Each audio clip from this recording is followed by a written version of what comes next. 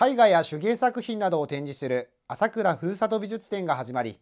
会場には0歳から90歳までの朝倉地域の住民が制作した力作がずらりと並んでいます。朝倉ふるさと美術古墳館では地元の作家や地域住民などが作品を発表する機会を設けることで地域文化の向上を図ろうと毎年開館記念日の5月1日に合わせてこうした美術展を開いています。30回目の節目を迎えた今年は平成と令和をまたぐ今月16日から来月12日まで開催されることになっていて会場となっている古墳館の新館には地域の保育所や小学校などの子どもたちの作品がまた休館には地域の写真グループや絵画サークルなどで活動する一般の作品が展示されています。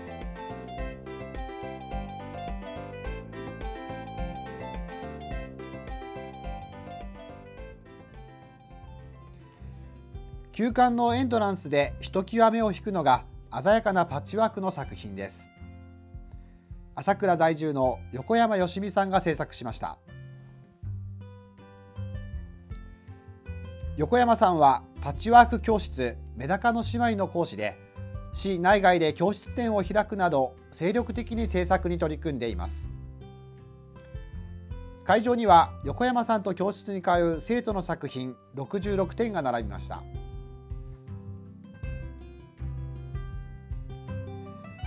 今回は美術展開催期間中の端午の節句に合わせて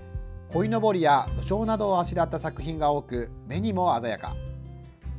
古いのぼりの生地を使っているものや完成までおよそ1年を費やしたもの中には90歳の生徒が制作したものもあり力作ぞろいです。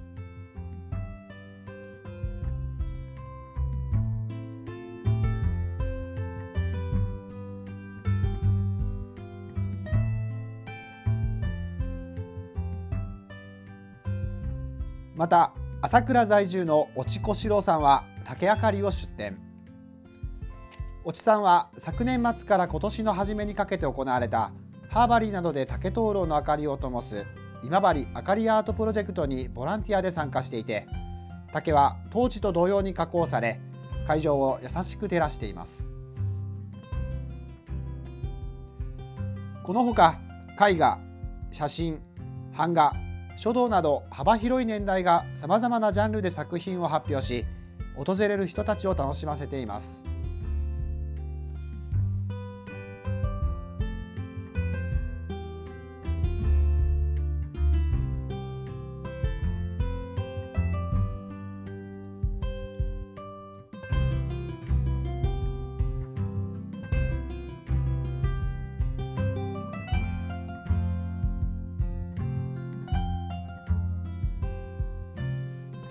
この朝倉ふるさと美術展は5月12日まで開かれています。